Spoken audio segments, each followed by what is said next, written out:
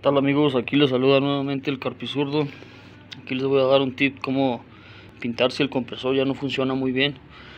Este compresor que yo tengo pues lo compré ya usado, ¿verdad? Y no me funciona, así si carga, pero cuando estás pintando este prácticamente se le acaba muy rápido el aire y tarda mucho en cargar.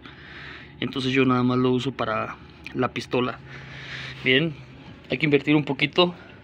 Yo me compré esta, ya tengo casi voy para seis meses con ella es un equipo de pintar portátil funciona con luz y yo lo uso para pintar con esmalte ¿sí? esmalte de este para pintar sillas, comedores, closet, para todo eso, ¿verdad?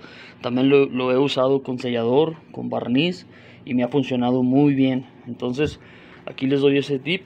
Cuesta como alrededor de algunos 800, 900 pesos, pero funciona excelente, ¿verdad?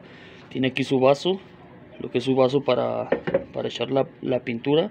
Yo he pintado con sellador eh, blanco, negro, este, pues le, y me, ha funcionado muy, muy bien, ¿verdad? Lo único que no he usado es con poliuretano. Yo el poliuretano casi no lo uso, ¿verdad?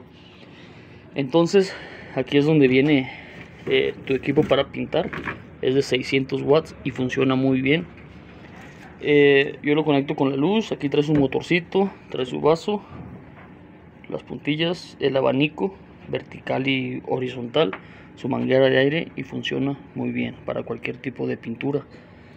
Eh, ahí les paso el dato para que también si ustedes lo gustan hacer, es una muy buena opción pintar con esta.